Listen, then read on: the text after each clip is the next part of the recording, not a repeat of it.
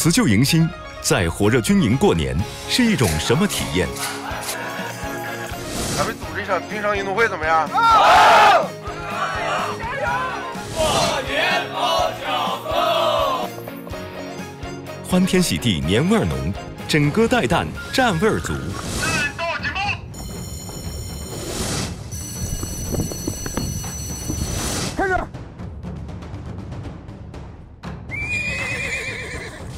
军事纪时记者兵分多路，踏上风雪边关，海岛哨位，走进热火朝天的训练场，记录一线官兵坚守站位，守望万家灯火的别样春节。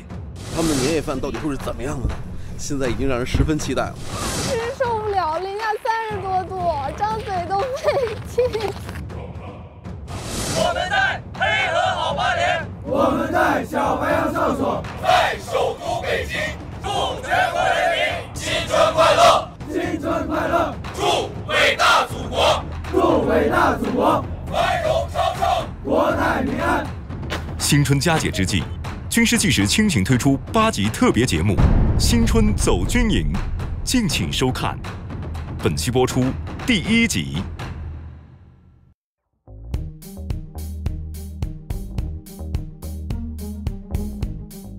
各位观众，大家过年好！巨石纪实新春走军营系列节目又要启程了。刚刚我们已经驶离了位于浙江省舟山市的海港，我们即将前往的是圣斯列岛。在圣斯列岛中有四百多个岛屿星罗棋布，而我们此行的目的地是叫做花鸟岛。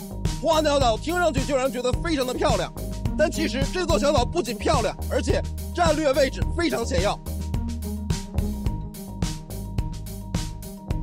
经过了将近四个小时的航行，记者即将抵达花鸟岛。花鸟岛位于舟山群岛的最北端，这里远离大陆，是我国东部海防的前沿要地。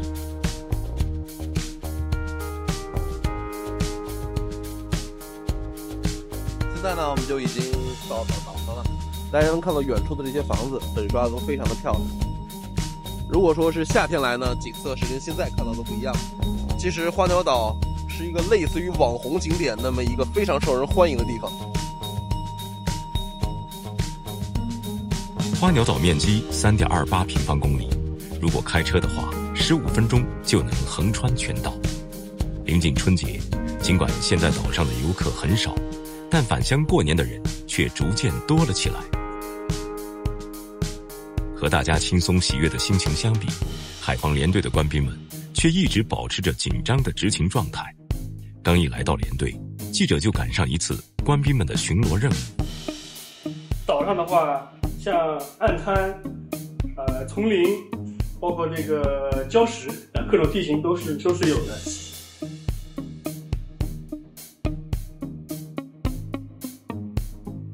花鸟岛虽然并不大，但巡逻路却并不好走。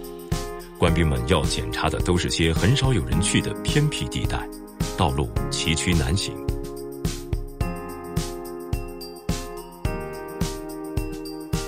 走在礁石堆上，不熟悉环境的人很难找到下脚的地方。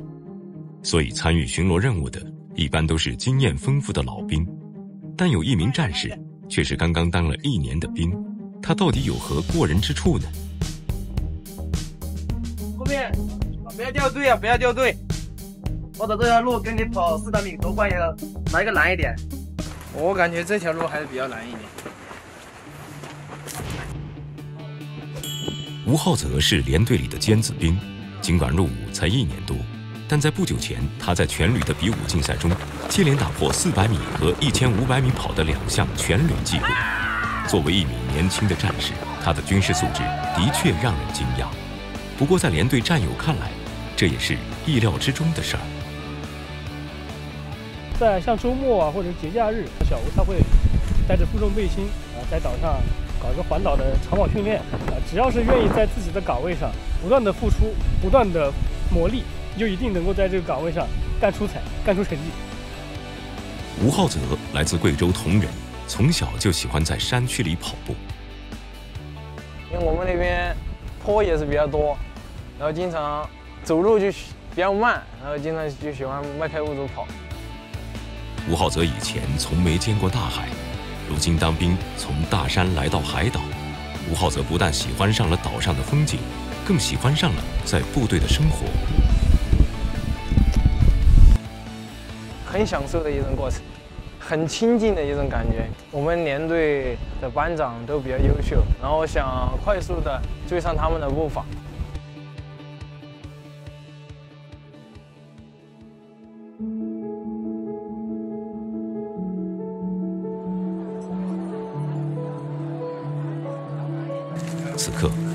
浩泽还不知道，就在几天前，部队的领导专程去了他家。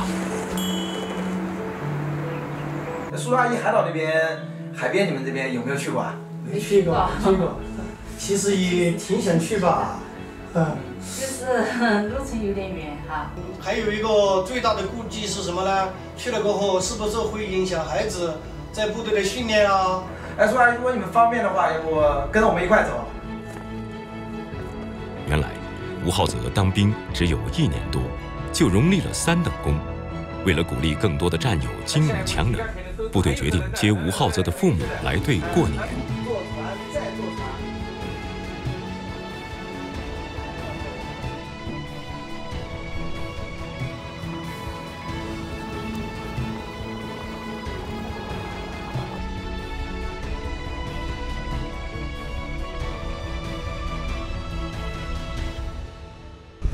可是一个大日子，因为再过几分钟，小吴的父母马上就要到了。他们从贵州铜仁跨山越海，千里迢迢赶到这里，他们马上就要见到自己的儿子了。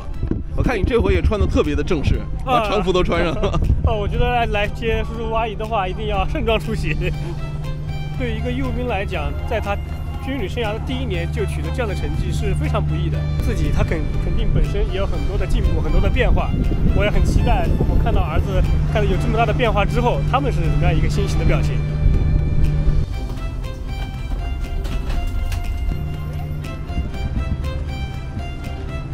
接到吴浩泽的父母后，大家就立即赶回了营区。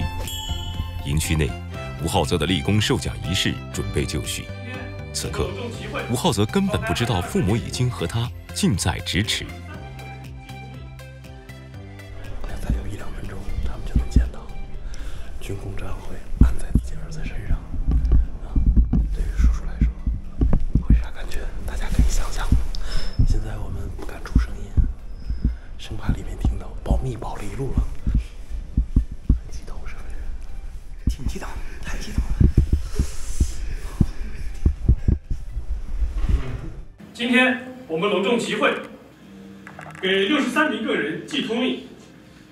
排二班战士吴浩泽到。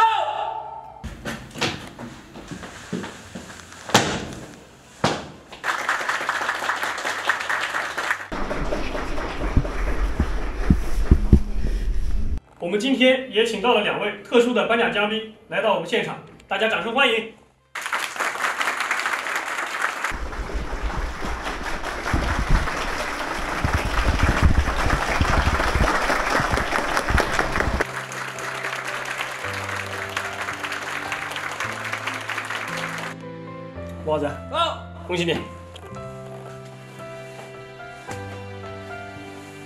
吃吃。父母的突然到来，对吴浩泽来说无疑是莫大的惊喜。父亲亲手佩戴的军功章，不但是军人最珍视的荣誉，更是儿子对父亲最好的回报。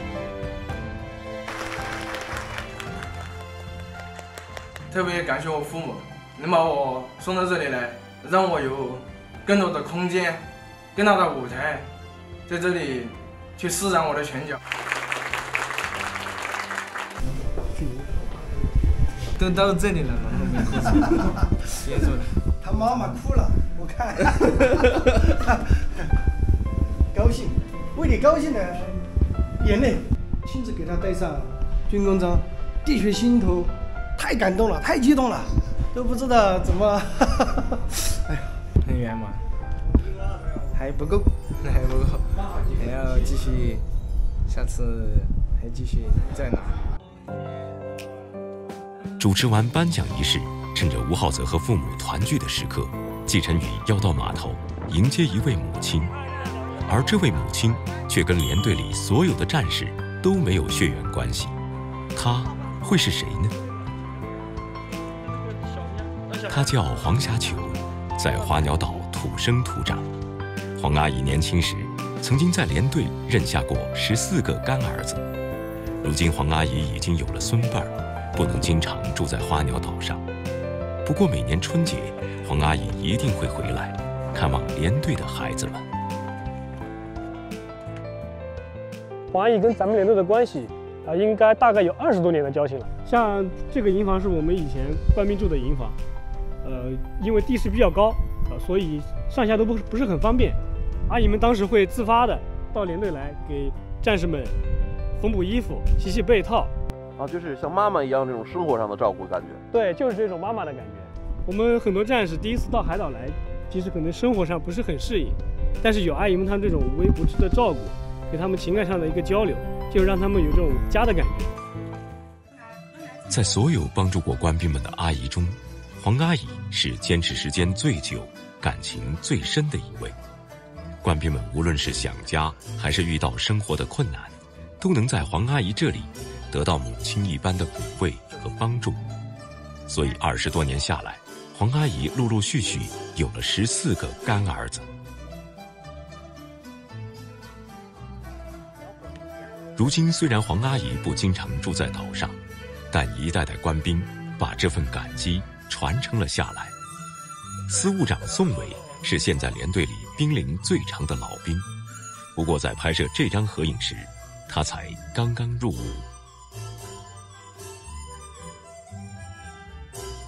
今天我们去盛世舞龙大会，就是啊，这影响挺的高，真的，那时候我也挺感动。他们得了金奖，哎呦，我也那时候感动，抱着他们俩下来的时候，抱着他们淌眼泪也是啊。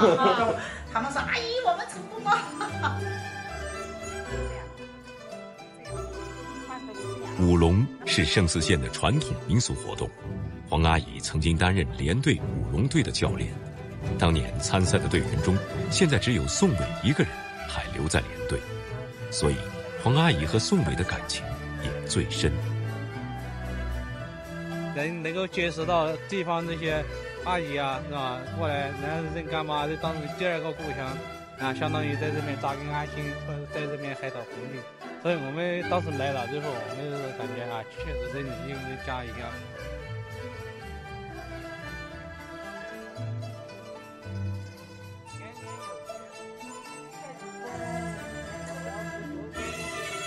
随着长辈们的到来，连队越来越有大家庭的氛围。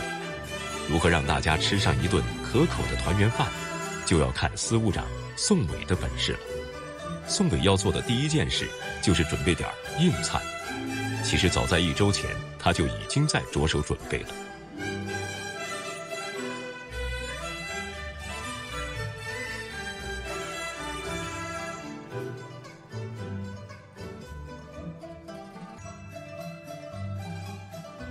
杀猪，还要准备一些年货什么的。为了保证在各种极端情况下都不断供，连队一直有自力更生的保障习惯。官兵们不仅悉心打理着蔬菜大棚，还养了不少牲畜。经过细致的处理，宋伟挑出了最好的几块肉，他计划熏一些腊肉给战友尝尝。主要是吃它的这种口感，知道吧？因为腊肉跟那个新鲜的肉肯定是不一样的。咱们用的是松针是吧？是，用的松针，因为这种松针的话，腌上来之后，它对于这个肉的口感跟那个味道比较好。烟慢慢起。其实呢，这些烟味儿并不是很熏人，而且的确是有一股松脂的清香。来，往上看，往上看，看，看，这些烟已经缭绕在这些。肥美的肉旁边了，我现在已经非常的期待，它到底会是一个什么样的味道？我简直太诱人了！经过了一个星期的提前熏制，现在大餐在即，吴浩泽的父母也亮出了从贵州老家不辞辛苦带来的珍贵食材。鸡是父母亲手喂大的，折耳根是父母专门在山里挖的。除此之外，菜品所有的配料也全部来自贵州老家，主打的就是原汁原味。连队里除了吴浩泽之外，还有不少来自贵州的战士。这些食材绝对能让战友们吃到家乡的味道。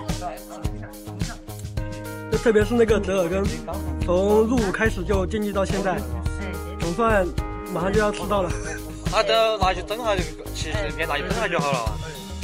现在连普通话都不说了，方言已经上来了。憋好久了，没人跟你说家乡话。明显能感到大家一下子心情变得特别好，整个现场活跃起来了。这种现场系统的活跃，完全不需要人多，咱们来实现。其实这几个人就完全可以做到。这些都是家里和家乡美食所带来的力量。那么他们的年夜饭到底会是怎么样的呢？现在已经让人十分期待了。但是他们要吃的还不只是这些，我们岛上还有很多好吃的海鲜在等着他们。团圆饭马上就要开始了，宋伟一大早就拿到了几大箱各式各样的海鲜。金虾。还活呢，我真新鲜。小岛团圆饭，海鲜少不了，鱼虾蟹贝应有尽有。但要说起最会做这些海鲜的主厨，那一定是在海岛上土生土长的黄阿姨。放不下盖子还是盖着的，不盖着不盖着不行，这个又拿出来的。这种感觉我突然觉得特别的熟悉。就感觉特别像是我妈妈来到我家看我的厨房，好像一下子就能够拉近我作为一个记者和黄阿姨之间距离，那更不用说天天在岛上生活的我们的官兵们了。所以这种感觉会让人很轻易的就能够明白战士们和黄阿姨之间的那种情谊，因为真的是太亲近了。下午三点，吴浩泽一家也来到了厨房，当亲妈和干妈都系上了围裙，所有人对这个场景。都感觉似曾相识，这正是记忆里妈妈的味道，这就是家的味道。现在呢，在这么宽大的工作台上，左半边这边是我们的黄阿姨要负责的浙江菜海鲜类，右半边就是我们小吴妈妈所带来的贵州菜。那么这一次晚宴将是两位妈妈通力合作的一个结果。同时呢，我们炊事班也会制作他们计划中的菜品。所以这顿饭不仅仅是一个军地的融合，更是浙江鲜、贵州辣、大山和大海菜肴的一次完美融合。到底会是一个什么样的味道呢？非常值得期待。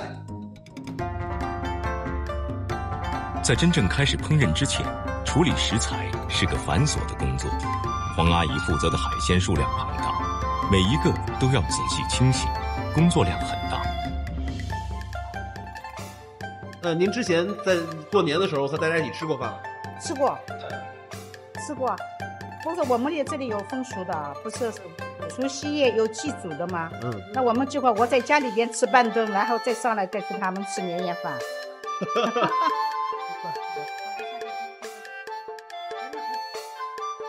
相比黄阿姨要清洗的大量海鲜，小吴妈妈负责的贵州菜，则是食材种类繁多，摘菜切菜的任务很重。特意就是用手给它摘下来，实际上这个用刀也可以切，但是我们那边的说法就是用手摘的比较好吃一点。与此同时，司务长宋伟之前熏制的腊肉，经过最后的处理，加入了贵州菜的阵营。大家看看，虽然说呢，我们做这个腊肉时间并没有那么长，但是其实味道也没有差很多。我觉得，呃，连队自己熏的这个腊肉，呃，手感、质感感觉如何？挺好，跟老家的做法是一样的。我们老家吧，还要熏一熏一熏，再加重点这个颜色，实际其实也可以了。经过了繁复的预处理，贵州菜率先下锅。小吴爸爸出手的第一道菜——火爆辣子鸡，就直接点燃了全场。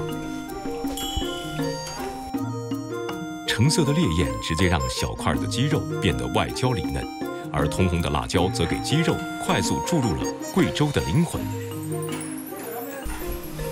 这这个辣味儿起来了，这个是咱们贵州菜的一个风格，是吧？对对对，辣。不不呛都不是贵州菜，就得给它呛起来。黄阿姨能适应吗？啊，我不适应。我以前能吃，现在也严重不适应。我戴口罩。他是炒的多啊，我是蒸的多。海鲜喜欢蒸的多。在黄阿姨这边，各种海鲜被蒸汽和沸水重重包围，蒸腾翻滚。黄阿姨手中的葱姜蒜蓄势待发，随着一锅滚油和娇嫩的贝肉爆发出一次次撕裂般的碰撞，海鲜自身的香甜喷涌而出。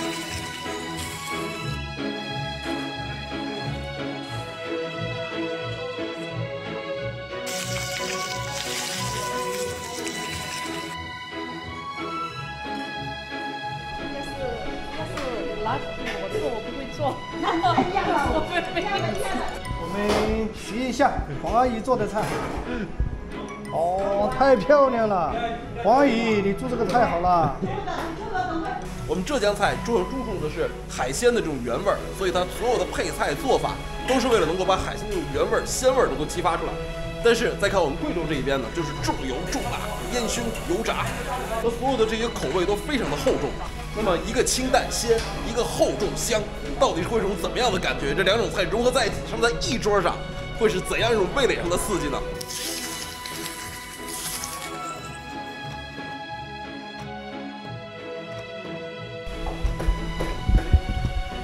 在瞅啥呢？馋是吗？没有没有，看他们做饭。是不是这道菜看上去特别好吃？看着都流口水。太丰富了。这次来。来这边真的有口福啊！吃这么多海鲜。太咸了太咸不好。哦来描述一下是什么感觉。妈妈的味道。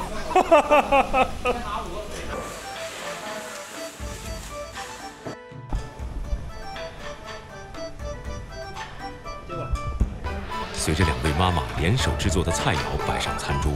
连队官兵们期待已久的团圆饭终于开席了。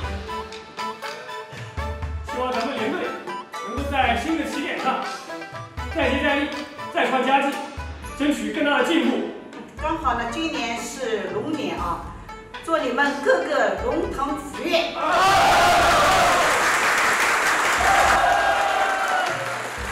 祝你们官兵就是新年快乐。身体健康，万事如意。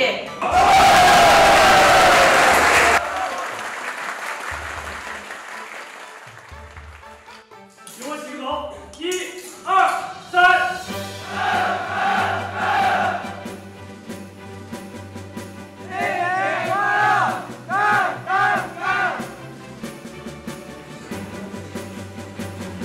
这是来自家乡的熟悉味道。也是用浓浓亲情烹制的美味菜肴。二零二三年完美谢幕，二零二四年崭新登场。连队官兵们依然会像花鸟岛上的灯塔一样，高耸在海岛之上，守护着一方的平安。